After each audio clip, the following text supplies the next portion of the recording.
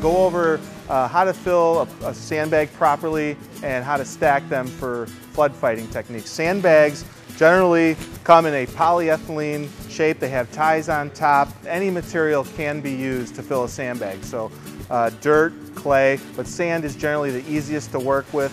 When it's full to the top can weigh up to 70 pounds and it doesn't compact right in the wall. So you only want to fill the sandbag up halfway to two-thirds. The ties on the top don't necessarily need to be used. If you're going to be filling sandbags on site and they're going to be placed immediately, you don't necessarily need to use the ties. The ties do become effective if you're going to pre-fill bags and have them ready and transport them. Proper lifting techniques are critical. The person holding the bags doesn't want to be leaning over and using their back too much. They can sit down or kneel on the ground. Use your legs to lift, don't use your back. Dress for the environment if it's going to be cold dress in layers. If it's sunny out, you want to wear a hat, wear sunscreen, stay hydrated, have food available. Gloves are important. Good pair of gloves will help you a long way.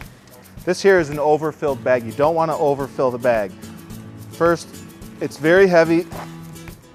You're going to have other volunteers helping out. There might be teenagers, older folks, and moving sandbags this way will it'll wear people out. Right here, this is about a half-filled sandbag. This is the proper, proper capacity you want.